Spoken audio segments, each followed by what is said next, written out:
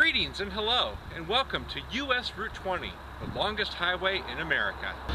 I'm here in Boston, Massachusetts at Kenmore Square, the eastern end of US Route 20. And 3,365 miles that way is Newport, Oregon, the western end of US 20.